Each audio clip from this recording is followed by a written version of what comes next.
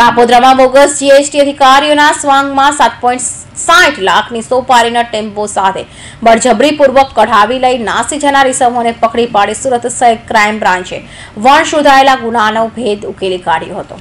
Surat, Kapodra ગીરાબાગ circle પાસે આવેલા મહાદેવ મંદિરના પાછળના ભાગમાં ચાર અજાણ્યા ઈસમોએ રાજ્ય સેવક તરીકેની ખોટી ઓળખ ઊભી કરી.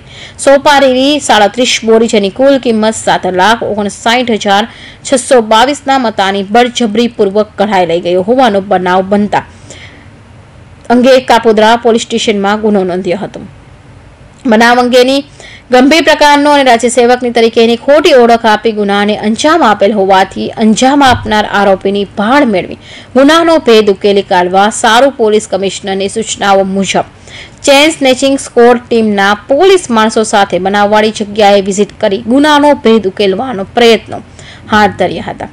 બાતમી આધારે ગુનાને અંજામ આપનાર આરોપી અવિનાશ વશરામ ચૌહાણ મિલન હસમુખ સરપનડિયાને સરથાણા વાલક પાટિયા સ્વામિનારાયણ મંદિર તરફ જવાના રોડ ઉપરથી ઝડપી પાડે.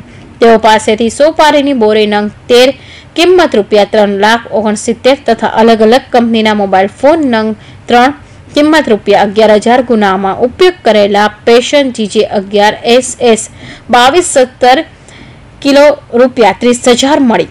કુલ કિંમત રૂપિયા ચાર લાખ દસ હજારના મતાના ખજાના મુદ્દામાલ કબજે કરી. તેઓ વિરોધ કાયદેસરની કાર્યવાહી કરવામાં આવી હતી. Bureau report Hind TV news Surat.